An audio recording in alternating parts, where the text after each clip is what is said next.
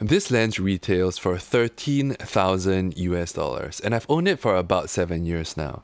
Has it been worth the money? Well, that's what we're going to chat about in this video. You know how when people get their first job making grown-up money, after a few years of work, they finally decide that it's time to treat themselves to a nice first watch.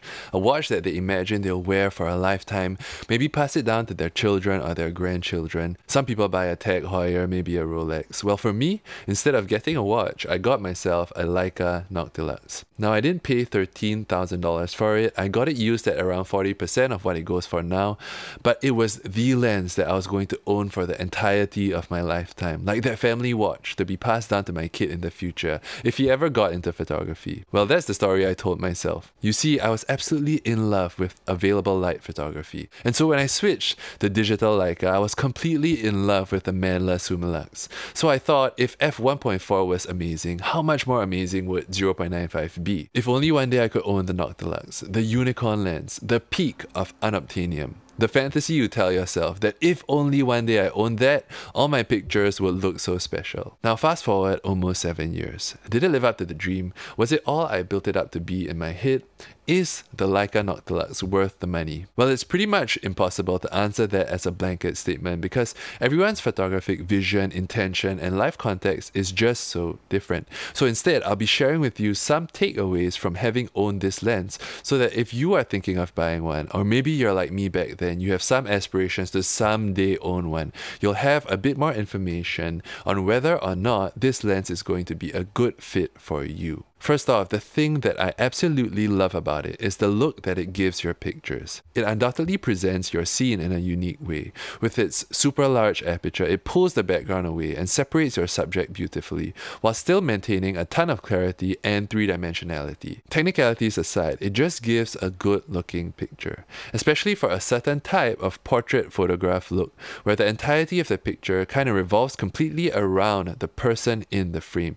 It really does that kind of picture very well. And the only other lens in this category of lenses that I've used so far that really blows it out of the water is the Kodak Aero Ektar. But that's a large format lens and it can only be used on a tripod with 4x5 film, so it can't really be compared directly. And so compared to other large aperture lenses in this category, the Noctilux is pretty much at the top of the heap. Now, as much as I love the rendering of this lens, after that initial excitement that we all get of owning a new piece of gear wears off, looking back at my time using it, I think I've only used the Noctilux at most 5% of the time. I'd say 75% of the time I'm using a 35mm lens, and the other 20% I'm using either a 21mm lens or the 50mm Summilux.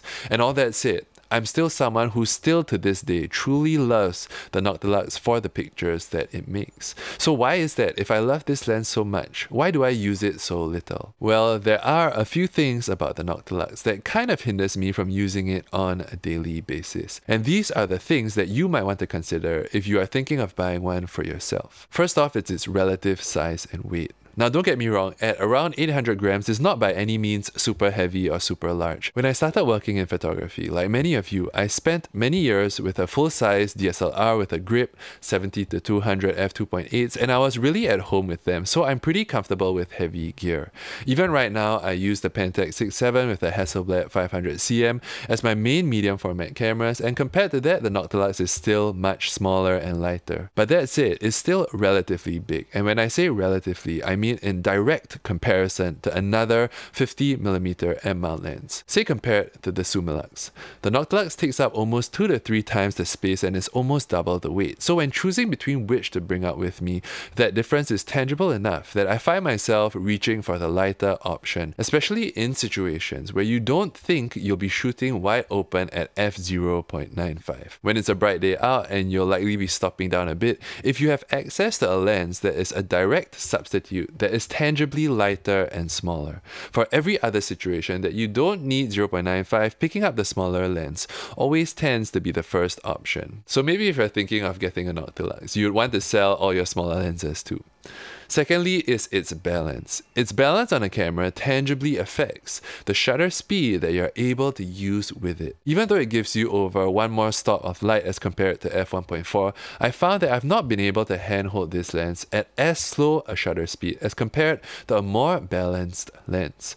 For example, with the Summilux at f1.4, if I'm using good slow shutter speed technique, I can frequently shoot at 1 30th of a second and get sharp pictures.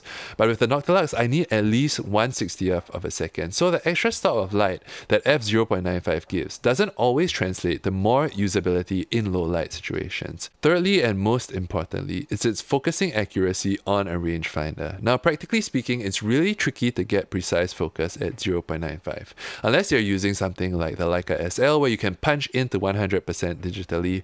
On a rangefinder, I found that I needed to get it calibrated almost every 9 months to a year because the mechanism inevitably drifted now, calibrating every 9 months is quite often, but I do shoot a lot and I don't baby my gear, so maybe if you shoot less, your mileage might vary. But to this day, nailing focus with the Noctilux still creates an unspoken sense of uncertainty at the back of my mind, and it's tangible enough that if I'm shooting something critical, maybe a very special moment to me, or I'm on a paid shoot where I need to nail my pictures, I almost never reach for the Noctilux in a high stakes environment. So despite being in love with the Noctilux, and I still very much am. All those things lead to me only using it for around 5% of the time. So that's it. Does it mean that it wasn't worth the money? Well, from a financial investment perspective, it definitely was. For the price I paid back then, I could sell it today for more than what I paid for it. So besides accounting for inflation, I pretty much got to use it for free. So from that perspective, it could be seen as worth the money. But how about in terms of its value as an object? Like, does it feel like you're getting what you're paying for in terms of its quality in and of itself? To that, I would say yes, I do think so.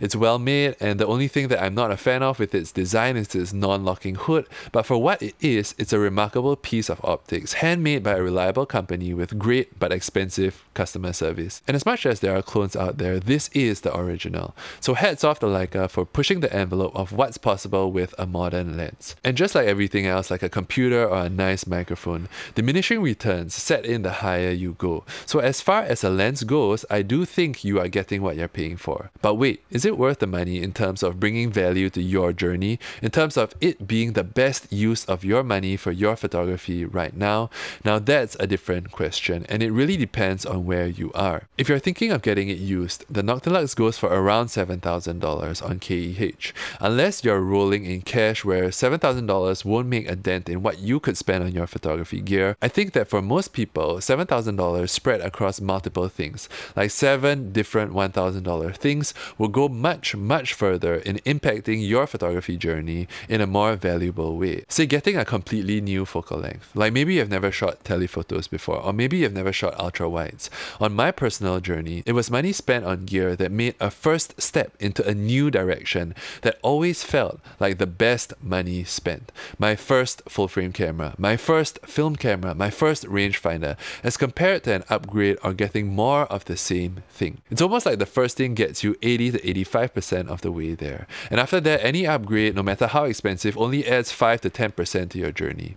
Not to mention that right now there are many options out there that could get you very close to the Noctilux, the new Voigtlander F1, or the 0.95 clones. You could explore those options as well and still have a bunch of money left over for other things. So if there are any new areas of photography that you're thinking of exploring, I think that putting your money into those things might yield more fruit as compared to upgrading from say f1.4 to f0.95. But that doesn't mean that the Noctilux might not be the lens for you. If you already love 50 millimeters, and by that I mean you're certain that 50 millimeters is the main perspective that you view and explore the world with, and you already have been using a 50 as your main lens for at least three to five years, and especially if a large part of your pictures revolve around that large aperture, shallow background blur look, then the Noctilux might very well be a great fit for you, and it might be the lens that you use the most that aids you in best expressing what you are trying to say with your photography. And if that's you and you still have a strong desire to own it one day,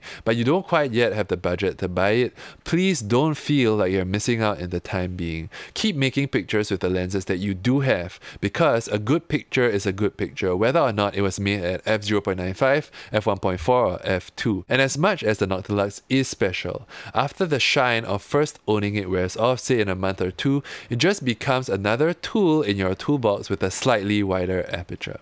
That's all for today's video. Jeremy here. If you liked it, subscribe and I'll see you in the next video.